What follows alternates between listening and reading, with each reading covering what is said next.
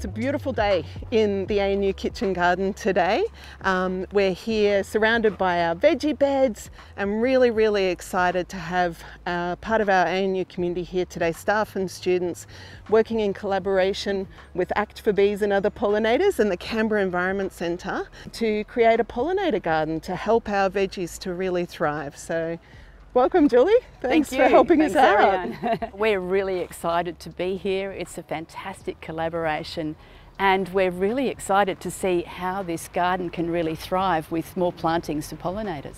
So this garden has actually got a really great establishment of flowering plants which makes a really wonderful foundation for what we're going to do. Well, you go get started, and um, we'll we'll have a look around the garden and see what's here, and uh, yep. yeah, where All we're right. going to plant Lots things. Lots of plants to plant.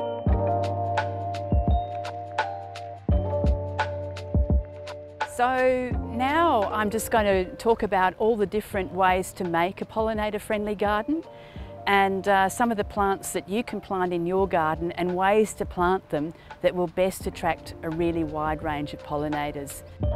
Oh, beautiful! This tree planted.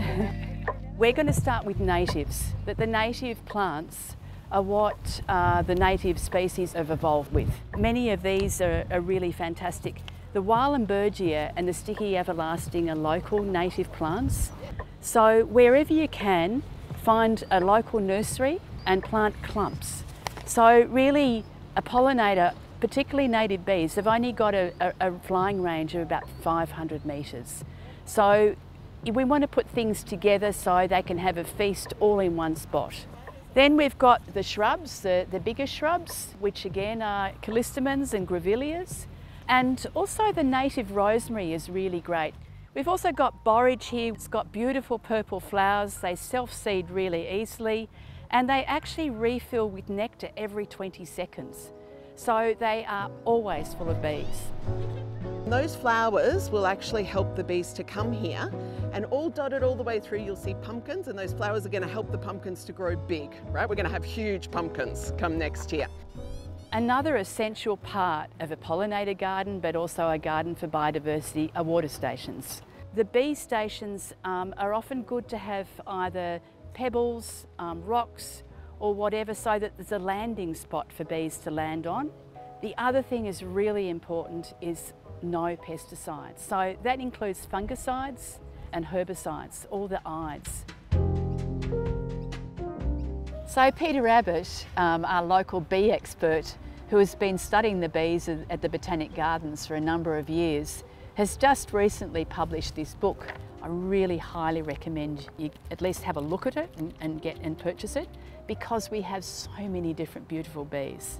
And then um, Kit Prendergast has done this um, bee hotels for Australian bees. So she's done a lot of research on uh, what bee hotels are the best for Australian native bees.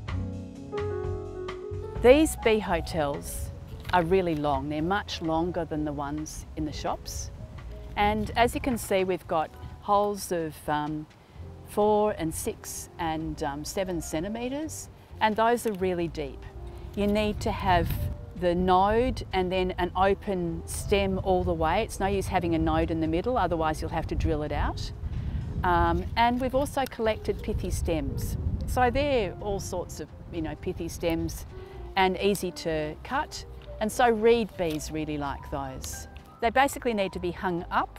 So this, as well as our planting list, are really great resources.